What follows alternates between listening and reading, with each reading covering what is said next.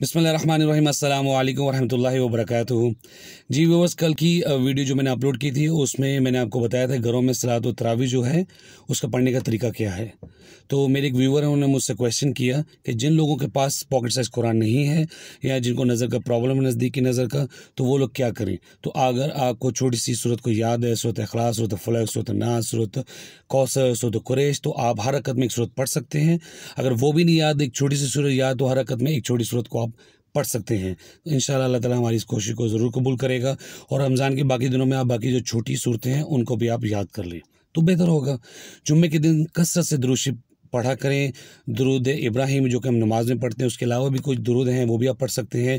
لیکن افضل جو ہے درود ابراہیمی ہے۔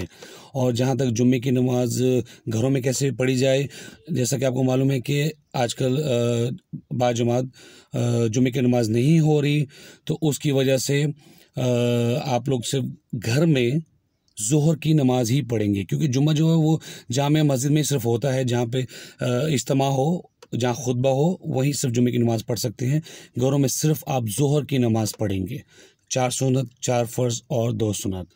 امید ہے کہ آپ کو یہ ویڈیو پسند آئی ہوگی۔ اسے آپ لوگ ضرور شیئر کریں۔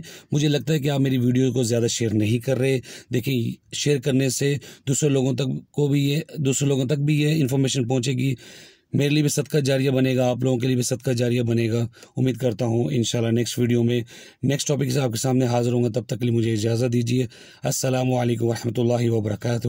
سبحان ربک رب العزت یصفون۔ وسلام علی المرسلین۔ والحمد للہ رب العالمین۔